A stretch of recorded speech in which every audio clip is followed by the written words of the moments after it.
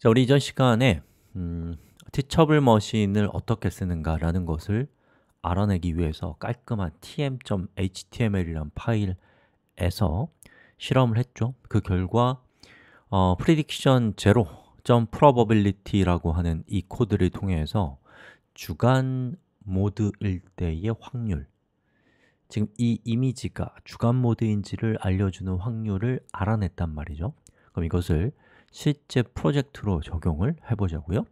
자, 지금 제가 가지고 있는 이 실제 프로젝트는 이런 내용을 가지고 있는 아주 간단한 HTML 코드로 이루어져 있는 어, 파일입니다. 저기로 옮겨 볼게요. 자, 여기 있는 요 스크립트 코드부터 이 위에 있는 어, body 태그에 있는 거 다 옮기죠 뭐 일단은. 그래서 아래쪽으로 이렇게 옮겼습니다. 자, 그리고 실행을 시켜 봅시다 자, 그럼 이렇게 나오고요. 그리고 음, 잘 동작하는 것을 볼 수가 있죠. 자, 근데 그 밑에 보면 이런 코드들은 필요 없잖아요. 저걸 없애버리면 되는데. 자, 일단은 이것도 없애고요. 이건 버튼이고 버튼도 없앴고요. 그 다음에 여기 있는 웹캠 또 그 레이블 라벨 컨테이너라고 하는 이것은 요 밑에 있는 주간 야간의 확률을 보여주는 부분인데 저것도 이제 없애버릴 수 있는지를 한번 확인해 보셔야겠죠? 자, 그럼 이건 어떻게 하면 되겠어요? 일단 없애보는 거예요 주석 처리를 해서. 그리고 실행을 시켰을 때 보시는 것처럼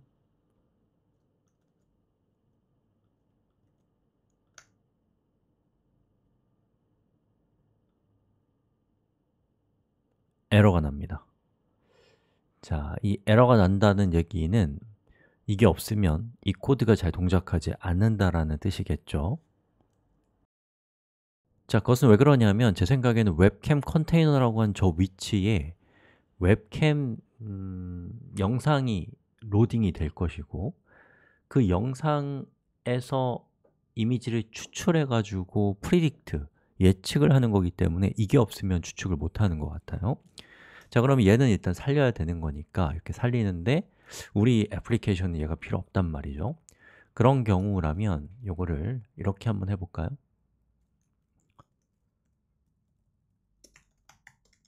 스타일을 통해서 디스플레이 말고 visibility를 hidden으로 하는 거죠. hidden을 하게 되면 실제로는 존재하는데 눈에 보이지 않게 하는 거거든요.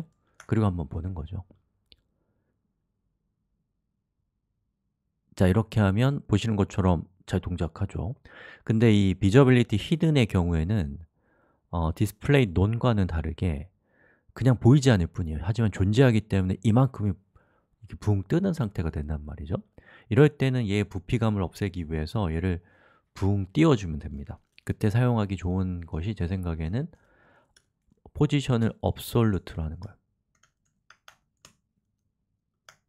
그리고 실행을 시켜보면 기존의 그 코드가 갖고 있던 붕 뜨는 그 공간은 없어졌으면서 이렇게 화면에는 표시가 되는 것을 볼 수가 있죠. 제가 visibility hidden을 한번 빼고서 한번 다시 한번 볼게요. 자, 보시는 것처럼 이렇게 visibility hidden이 없으면 눈에 보인단 말이죠. 그리고 position absolute가 있으면 얘가 붕 뜨기 때문에 그 밑에 있었던 라벨 텍스트 있잖아요. 걔는 얘 밑으로 지금 와 있는 상태가 되는 거예요. 자, 그래서 이 두 가지 코드를 통해서 어, 눈에는 안, 보이지, 안 보이고 부피감도 없지만 존재하는 것으로 얘를 만들었습니다. 자, 그 다음에 라벨 컨테이너라고 되어 있는 이 부분은 바로 여기 주간, 야간 이 부분인데 이거를 화면에 표시할 필요는 없단 말이죠. 그럼 쟤를 지우면 되겠지만 지우는 것과 함께 얘를 표시해주는 코드도 같이 없애면 좋겠죠 자, 이렇게 봤더니 여기 있는 요만큼의 코드가 그것과 관련되어 있고 그리고 여러분이 잘 살펴보시면 이 부분도 예, 그 코드와 관련되어 있습니다. 그 영역과 관련, 그 영역의 실제 내용을 채워주는 것이 바로 지금 방금 제가 지운 겁니다. 자, 오늘 리로드를 한번 해서 문제가 없는지를 확인해 봐야죠. 예, 문제가 없죠 그리고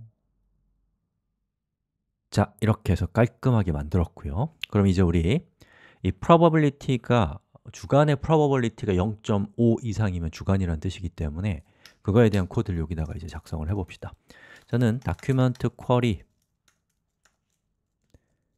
뭐요? selector body style 어, 그리고 background 컬러를 블랙으로 하겠습니다. 아니, 화이트로 하겠습니다.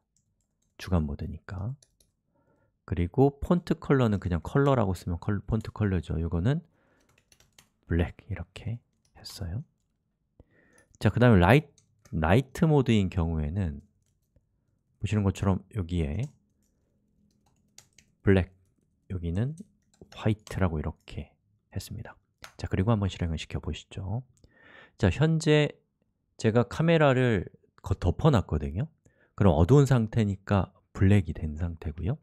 그리고 카메라를 열어볼게요. 여러분 잘 볼 수 없지만 엽니다. 하나, 둘, 셋. 보시는 것처럼 화이트로 바뀐 것을 볼 수가 있습니다. 다시 블랙, 화이트 이렇게 바뀐 것을 볼 수가 있어요. 엄청나지 않나요? 여러분 예전에는 예, 이런 걸 코드를 작성을 하려면 어, 천재라도 쉽지 않았단 말이에요. 근데 이 machine learning이 발전하고 또 이 machine learning을 쉽게 사용할 수 있는 Teachable Machine과 같은 것이 등장하면서 저 같은 평범한 개발자들도 옛날에는 천재들도 하기 힘들었던 일을 너무나 쉽게 할 수 있는 어, 엄청난 시대가 왔단 말이죠. 예, 그 시대의 변화를 느껴보면서 즐거움도 같이 한번 느껴보시길 바랍니다. 자, 이게 불필요하게 화면에 출력되는 콘솔은 제가 없애버리도록 하겠습니다 자, 여기까지 박수!